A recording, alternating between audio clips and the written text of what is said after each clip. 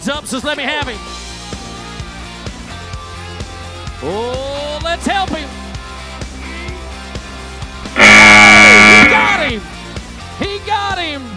Clock says eight seconds. Oh, and they're going to review this. They are going to review this. Look at the history of these two, though. They've met twice before. Both of those times have worked out in favor of Fabiano. Yep, and he talks it over. We're going to watch it back on the replay, and as you can see right here, fire and smoke jumping out of that spin, going back the other way.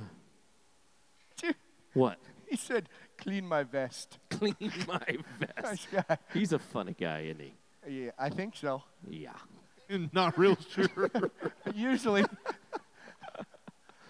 All right, so watch the replay. We've discussed this.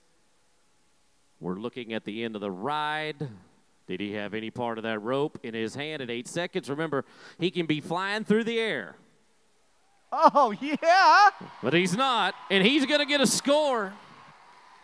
So there you go. So, Matt, that means that he will become the third man to ride all three bulls here in Oklahoma City. Now, the officials waiting the numbers 83 and three quarter points. And, ladies and gentlemen, you are looking at the man that is leading here in Oklahoma City. There he is,